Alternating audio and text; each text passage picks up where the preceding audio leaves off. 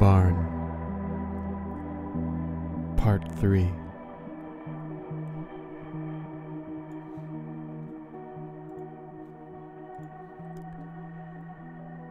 I fought traffic back to the North Hollywood apartment and picked up some essentials, as well as that damned box. I had stuffed it into the back of the tiny closet in the bedroom and covered it in clothes. I gazed at the faded rosewood, its chipped lacquer, and sighed as I carried it down to my car. A crow circled overhead and seemed to watch me as I placed it in the back seat and drove back to the bungalow house. No more running, I told myself. I sat down at our dining room table and opened the box. I began by looking at the next oldest stack of cards. I flipped the first one over and was only half surprised to see the symbol of a black bird, a crow, wings spread, with straight lines protruding from it and symbols I didn't recognize surrounding the image. Below it sat a large upside down cross. Dear Michael, the next cards read in my father's unmistakable script. If you are reading this and the box has found you, something has gone terribly wrong. I hope beyond all hope that you never, ever have to read this. First, you must know how incredibly sorry I am that you are tasked with this heavy burden. But we have no choice. Our grimoire has been burned, destroyed, and I only have these stupid cards available to me right now. My time is short, and I have a lot of writing to do. Heed what I write. Your life depends on it. I am a member of a secret order. Some call us witches, but we merely harness the will and mental energy found abundantly in the multiverse, as all religions do to some degree or other. We have a hierarchy of gods and rituals going back hundreds of years. I fear they may be lost forever. Before I continue, you have probably gathered that Christine and I were lovers, and I am sorry about this. Furthermore, Christine used our order's magic to kill your mother unwittingly. Such is the power of intention. There is so much I want to tell you, Michael, but I don't have the time. As I mentioned, our order's history goes back hundreds of years, and I had hoped one day to initiate you. Unfortunately, my plans were for naught. We have been at war for some time now, and I feared it would be too dangerous for you. It's a losing war, slow, hard, and bitter. One we almost certainly cannot win. I know that now. It's our own fault. My fault, mostly. We got too big for our britches, so to speak, when we discovered what lived on the land behind the bungalow house. I thought we could. He didn't finish his sentence. His handwriting became more furious and a little sloppy, unusual for him. He scratched out a few of the following sentences and continued with we are paying a high price for my hubris. I am attempting a ritual that will end this evil and put them back where they came from, but it requires my ultimate sacrifice. If, for some reason, it does not work, and other members of our order haven't finished the job, I fear it is up to you to continue. Most of my order is dead or missing by now, and there will be little in the way of help for you. You are our last hope. But, Michael, remember this. I know you. I know your true strength. I know your true worth, and you are capable of becoming a much more powerful warlock than I ever was. I love you. Follow the instructions, wear the pendant, and know that I am always with you. I gaped at the cards. How could I have not known that my dad was some kind of weird cultist warlock? How had he hidden that from me? Did my mother know? Christine did what with who to kill my mother who died of cancer? How? My head was swimming with questions. I flipped the next card. Step one, it read Protection. I started skimming the cards. There were all manner of instructions and arcane symbols I didn't recognize. The hand drawn symbols looked like a combination of Celtic runes, Sanskrit, and Latin. Step two, it read Purification and Initiation. My head swam. I started to see spots. Realizing I hadn't eaten or had water, I poured myself a glass and called Sarah.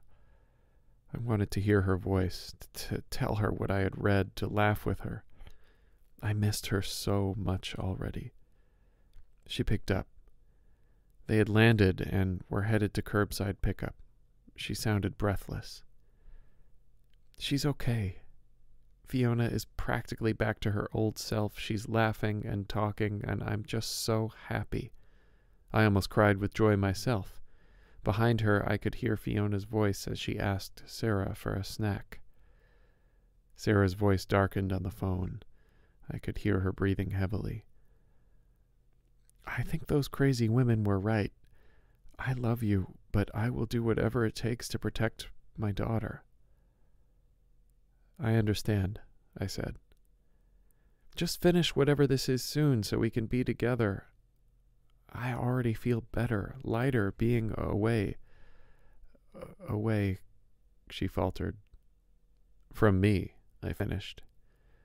Yes, well, well, well, not, not, no, not just you. That house, all of it, she said.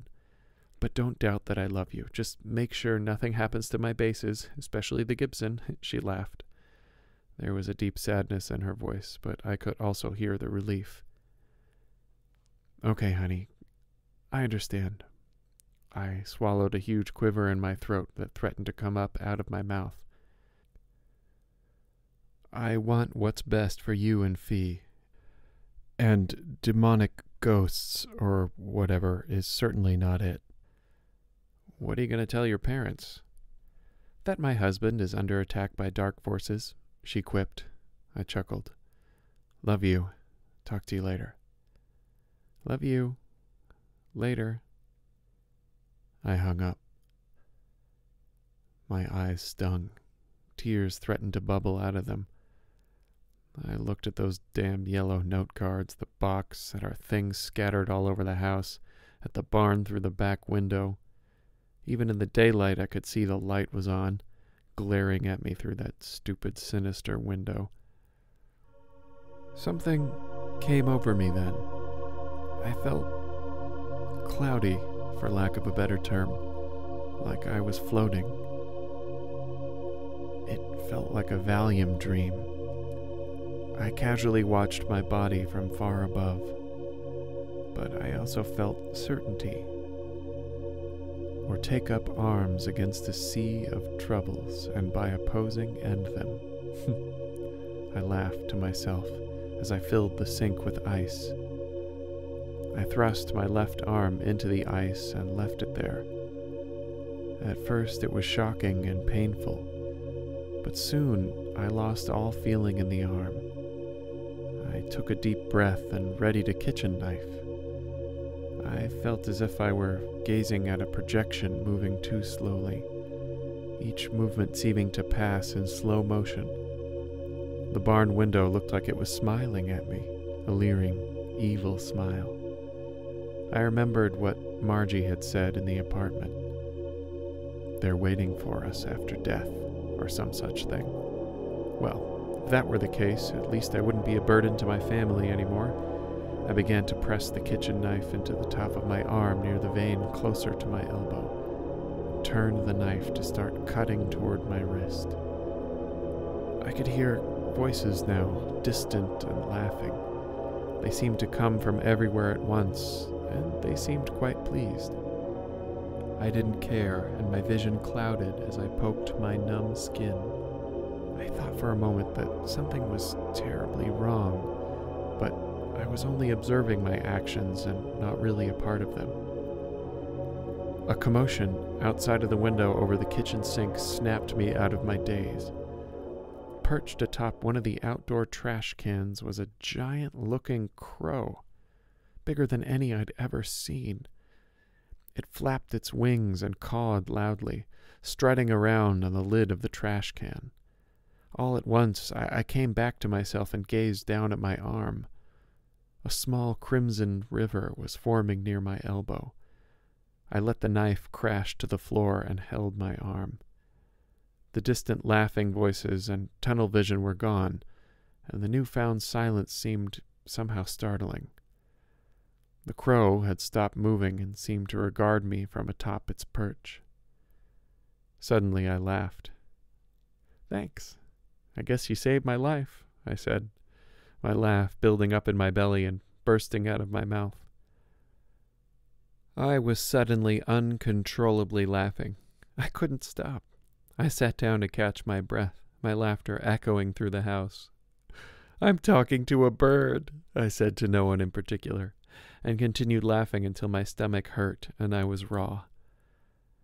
When I finally calmed down, the bird was gone, and I carefully bandaged my arm where I had started to cut myself.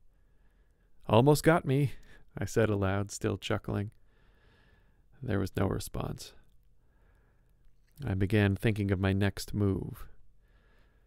I went over the series of events in my mind again the visitations, visions, the dream, the crazy ladies, the loss of my family, the damn box. I thought of calling a paranormal investigator or some such thing, or even a psychic, but the thought of exposing someone else to whatever this was seemed wrong. I put my house back in order, carefully placing all the items back that had been arranged on the floor. I fixed myself a stiff bourbon, and with a sigh, I opened the box. I removed the pendant and placed it around my neck. The cool weight of the silver chain was comforting, and I instantly felt slightly more grounded. Okay, Dad, I can't say I'm very happy with you. I don't deserve this shit for your mistakes, but god damn it, I'll do it. I said in English and sign language to the air around me. The house was quiet. Okay, step one.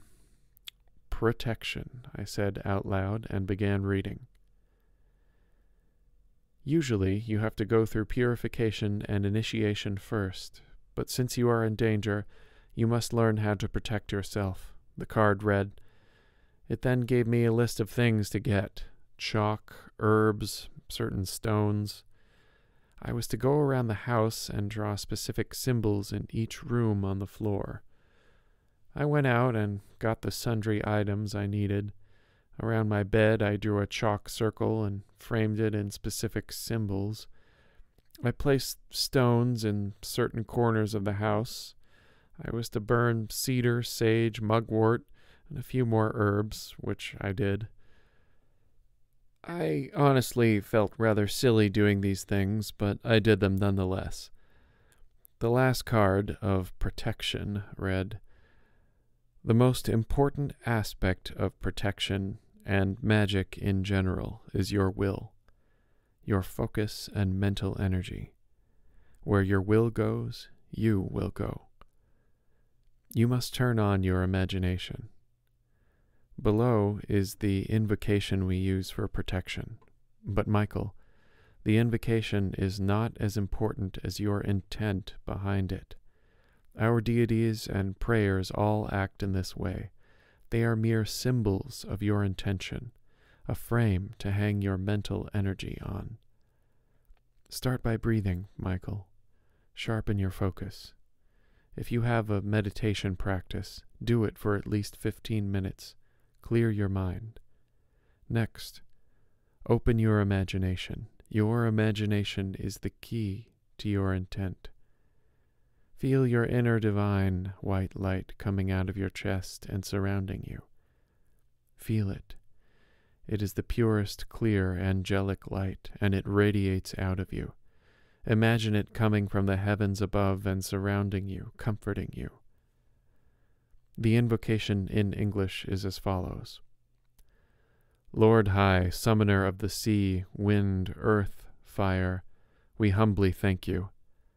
Mistress of the directions north, south, east, and west, we humbly thank you. Lord High, commander of light and darkness, we humbly thank you. Bless us with your light and protection, we humbled few who keep the flame alive, that one day the Father and Mother, summation of all, may grace us with their presence. Bless us with your light and protection. Amen. I puzzled over this section for a while, trying to wrap my brain around its meaning. It just seemed so silly. But I was willing to try anything at this point. I punched in a guided meditation on YouTube and completed it, I guess. I still felt pretty silly. I didn't know what my father meant by imagination and will and all that, but I hoped that the chalk symbols and smelly herbs were enough. I then read the protection incantation out loud.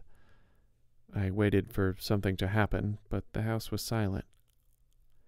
Daylight was fading, and I got myself ready to go to bed early. I was extremely exhausted from the little amount of sleep I had gotten over the preceding days. What followed was the longest night of my life.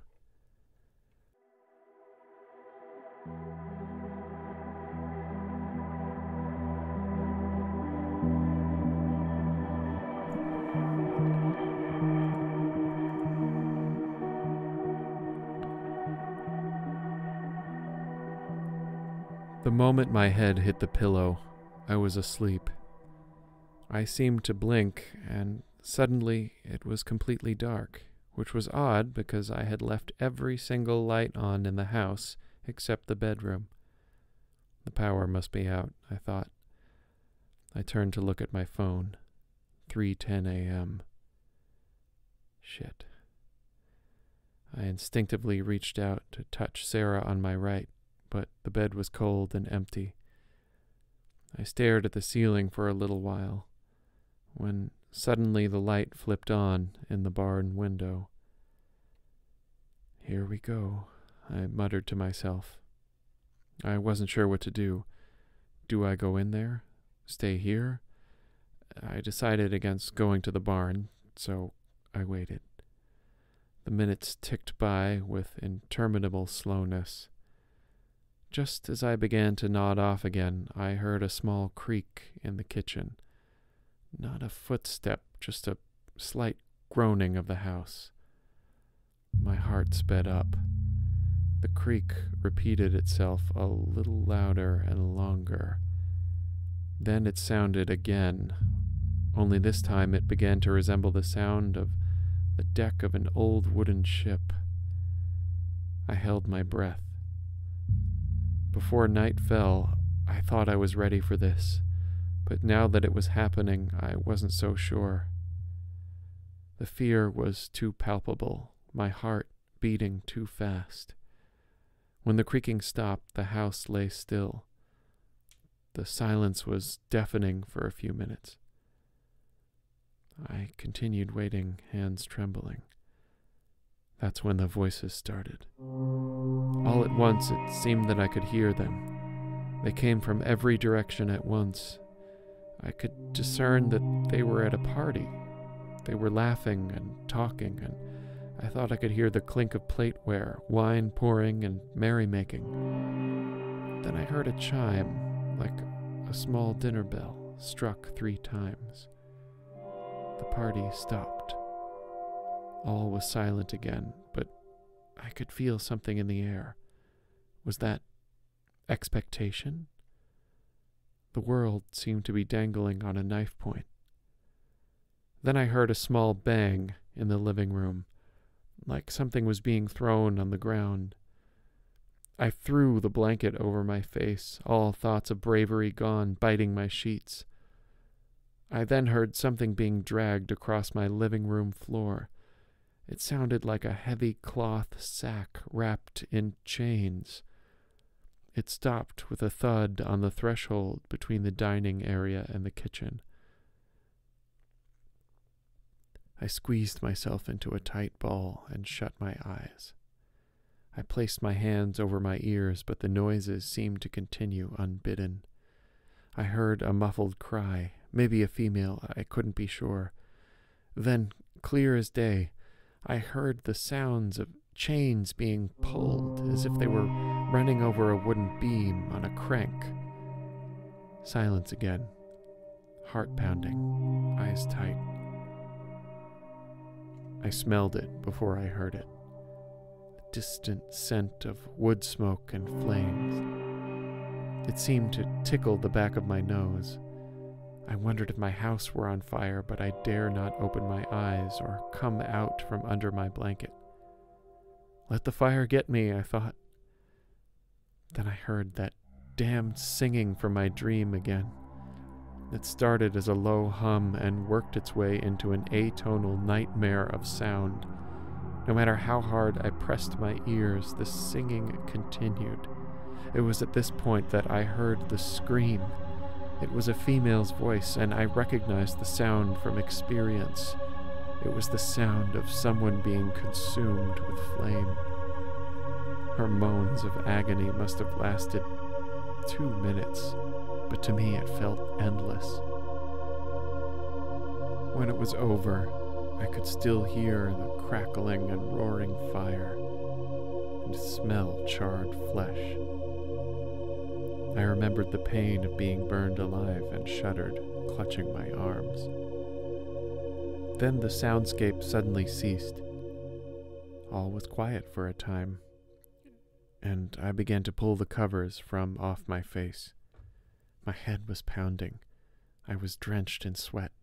My heart had not stopped its incessant pounding, and I wondered why I hadn't plunged that knife into my veins to let myself die earlier.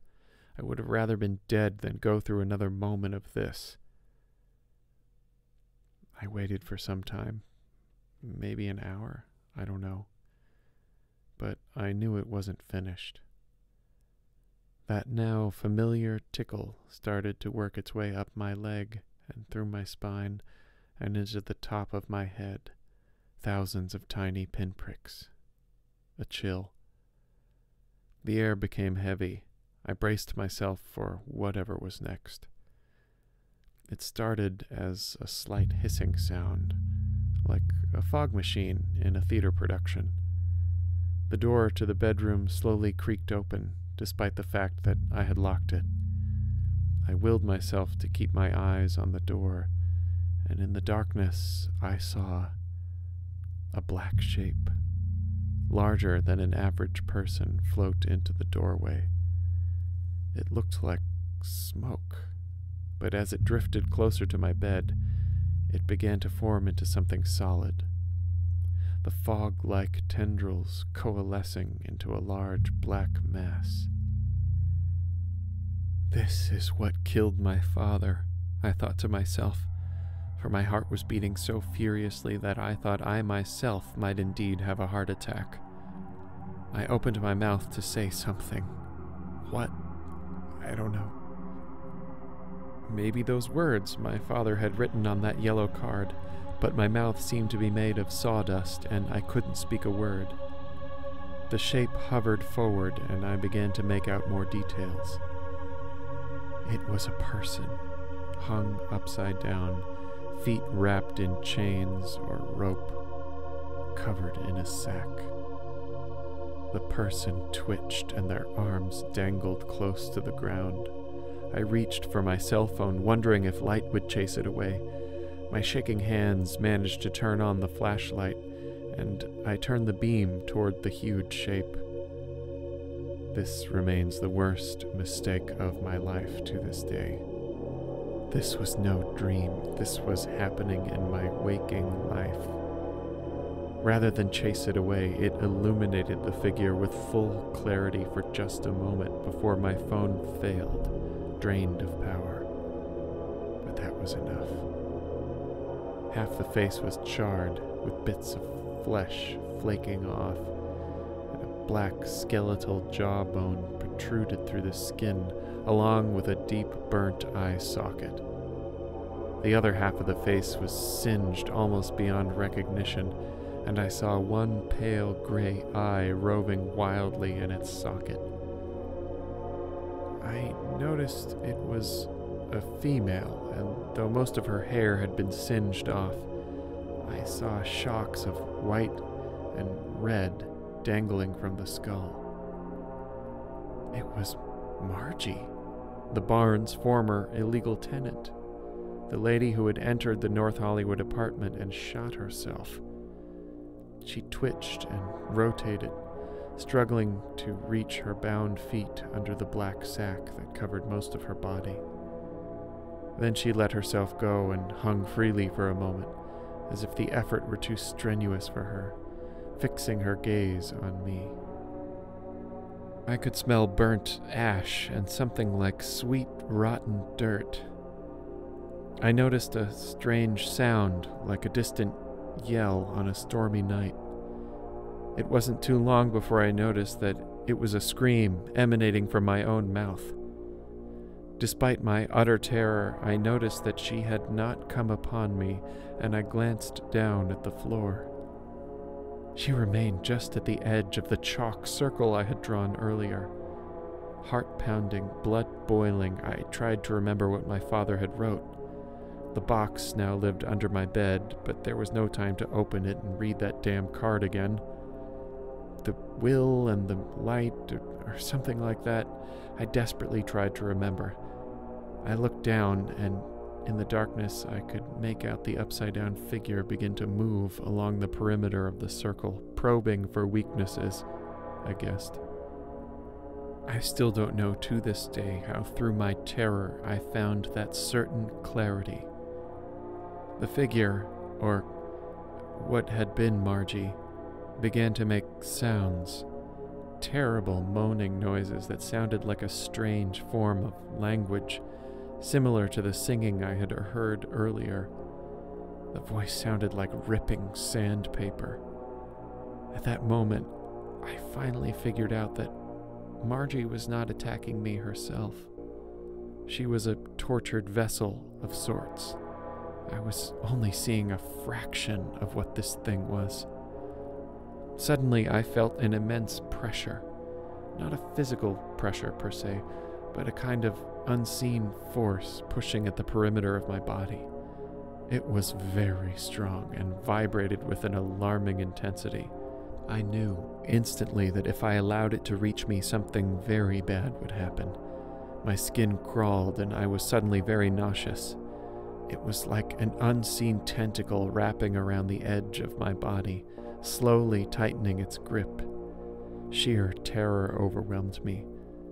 I imagine I felt like a mouse does as it waits to be crushed to death by a python. It was at this moment when the terror had stripped away the remaining parts of me that I would consider myself, that I remembered the instructions written on that card. I imagined a clear white light emanating from my chest, falling from the sky and surrounding me. The groaning noises originating from the being got louder, and the force pressing on me gave way just a little bit. Whatever I was doing seemed to be working. The figure backed up slightly. It took all of my might to imagine the clear light and press it against the immense force pushing on me. I envisioned the light growing bigger and engulfing more of the room. The thing backed up further. Taking the initiative, I pushed harder. I could feel the light, my willpower, pushing it back. It was really working. But soon the figure screamed with an ear splitting force, and it began its own counterattack, shrinking my light bubble. It let out another cry of rage and assaulted me with an incredible force that vibrated through my entire body. I felt immense pressure, like I was thrust many feet underwater. It made my head spin and I began to lose focus. My bubble shrank. I could feel my psyche crumbling against its might. I'm too weak to stand up to this thing, I thought in despair. You were wrong, Dad, I thought sadly. I can't do it. At the thought of my father, a new surge of energy seemed to well up inside me, and a strength I never knew I possessed caused me to cry out.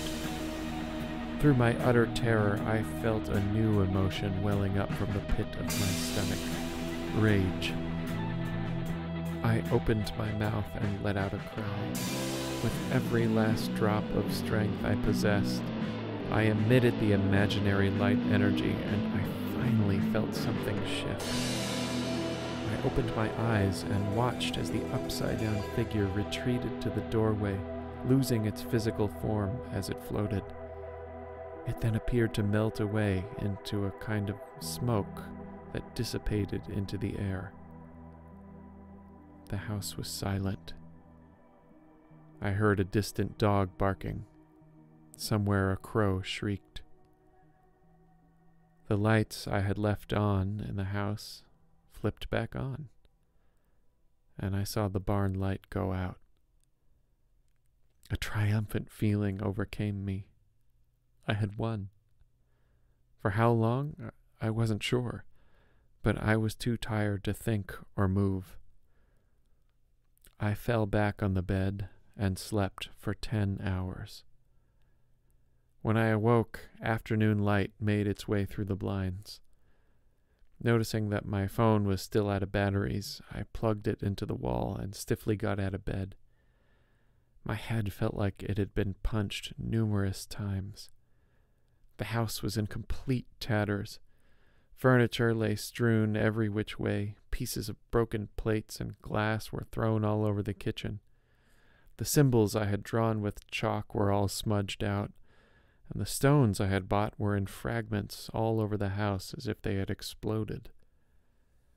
After chugging three glasses of water, I instinctively went to the backyard and opened the barn door. I mildly looked at Sarah's musical equipment still sitting in order. Well, at least they didn't touch those, I thought. I trudged up the stairs to the second floor and surveyed the area. A large pile of ash lay on the floor in a perfect circle about six feet in diameter. Scorch marks radiated from it, and some of the items in the room were singed. I nodded my head blandly and made my way back inside. There was a crow standing on top of one of the branches of the orange tree. Oh, hi, I said out loud. I could really go for some Thai food right now. How about you? The crow regarded me serenely and took off in a westerly direction, cawing as it went. I sighed and returned to the house to power on my phone. There were two messages from my wife. Without listening to them, I called her. She picked up on the first ring. Hey, how are you? We've been worried about you. I haven't heard from you. I'm good, I said. She paused. How are things over there? Did, did anything happen? Is it over? she asked. I considered this for a moment. No. N- nothing happened. I just slept in today, is all. Forgot to plug in my phone. Your instruments are just fine, also, I added hopefully.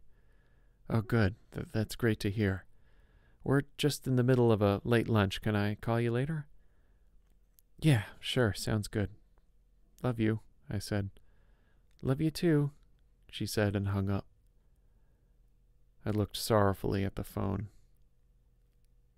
I missed my little Fiona, my wife. I ordered some Thai delivery and sat down in front of my dad's rosewood box. I opened the lid and flipped the cards to the next section purification and initiation. Perhaps I had beaten them, and I didn't have to do any more of this stuff, I thought. I'll be on a plane to Sacramento in three hours.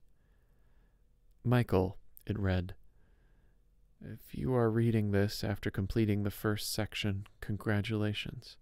I knew you could do it. You now know how to basically protect yourself. My heart began to sink. But know that the onslaught will not cease. This is but the beginning of your journey. You must follow these instructions and prepare yourself for, perhaps, a lifetime battle. This war will test you in ways you never thought possible, and you must win. I don't know what will happen if you lose, but something will be loosed on humanity far worse than any disease or weapon known to man. Be diligent. You are stronger than you know. Tears began to sting my face and I placed my head in my hands. No, I thought, oh no, God, no. Dad, what have you done? This was about six months ago. Now, most of my time is spent mastering my father's group's techniques and holding off the inverted. I've also been doing research into other ways to fight them alchemy, New Age rituals, Christian, Jewish, and Muslim exorcisms, Buddhist meditations, whatever I can get my hands on, really. I dare not ask anyone to help. A priest or some kind of spiritual ghostbuster for fear that they will be exposed to this poisonous entity. I've been looking into the past for clues. My feeling is that they've been around for a long, long time predating even the Tongva and Chumash who originally inhabited this land. I also think the inverted are part of a single dark unity, a hive mind of sorts. They can't always attack me the way they did that first night, but they have many ways of wearing a person down. Many insidious ways. My overeager father and his coven, the Order of the Twilight Vision, awoke them from their slumber in order to gain their knowledge or power or something, as far as I can tell. Idiots. Now my very existence is dedicated to putting them, it, back to sleep. I shudder to think of what it may do unleashed into our world, already besotted with dark entities, climate catastrophe, and war. As my father mentioned, Twilight Vision's book of spells and history was destroyed by the Inverted, or one of their agents. Hundreds of years of history and craft burned to ash. But I have started a new book, painstakingly copying the knowledge my father left on his yellow cards into a single grimoire, even adding my own knowledge and strategies that work against the inverted. I quit my job. I don't see my daughter or my wife for fear of putting them in harm's way, and now I hardly talk to them on the phone or digitally. Too dangerous, I think. Most of my nights are spent in fear, though I have made my peace with that emotion. Sometimes I don't see signs of the inverted for days, and I wonder if I have won. But that is only a part of their insidious tricks. I now know how to hurt them and beat them back. But I fear I can only keep them at bay for so long. They are relentless, tireless. The crows visit me often. I suppose it's comforting. I sometimes wonder if I will be one of those crows some day, watching over someone else tasked with destroying the inverted. For now, I must stay strong and live in this hellish reality until it is finally over.